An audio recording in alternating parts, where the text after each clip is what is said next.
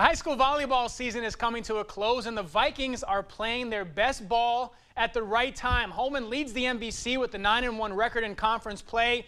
Vikings looking to make it 10 1 in their final home match of the season. Let's head to Holmen High School senior night for the Vikings. They were taking on Central High School tonight. The Riverhawks coming to play early in the first. Central already up six. Make it seven thanks to this kill from Aaliyah Shield. Central goes up 11 4. But here comes Holmen.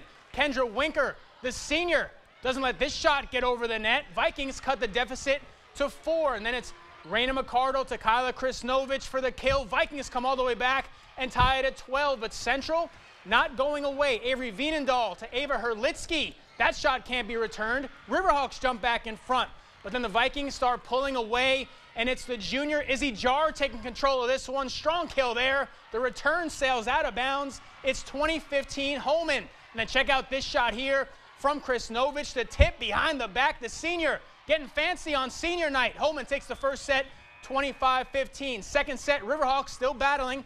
Ruby Gerhardt's there for the block. She's pumped up.